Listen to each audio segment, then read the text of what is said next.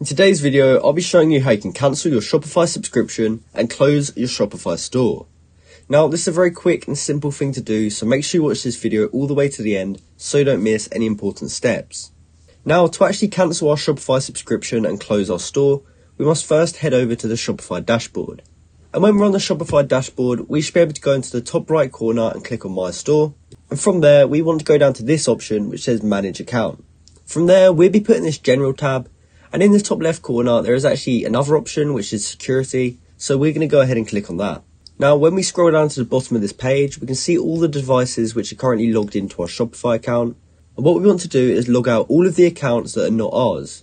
So as you can see, I've only got one on here, which is this device. So I can leave this one alone.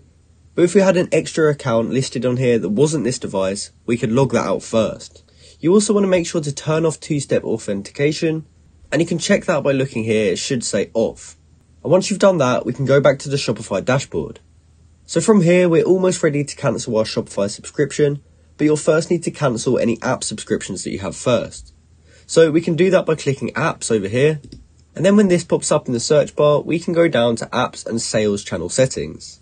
From there, you'll be able to see all of the apps that you currently have, and you can click on them. And if you do have a subscription with any of these apps, you first want to go ahead and cancel that subscription and then uninstall it from your store.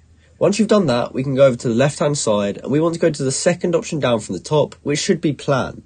Now from here, we should be able to see this deactivate button.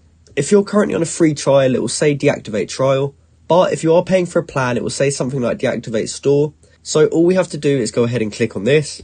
And from there, they say before you go, you do want to review this guide. So you can actually click on this link here and I recommend that you read through all of this first, just to make sure that you've done everything you need to do before you close your store. However, once you've checked that and you're happy with it, you can choose the reason why you're trying to close the store, then choose continue, and from there you can click this final button to deactivate our store and also to cancel our Shopify subscription. Now, if you ever decide you want to start using Shopify again, I'll include a link at the top of this video's description, and it will actually allow you to get Shopify for just $1 a month for up to three months. So I hope you found this video helpful and thanks for watching.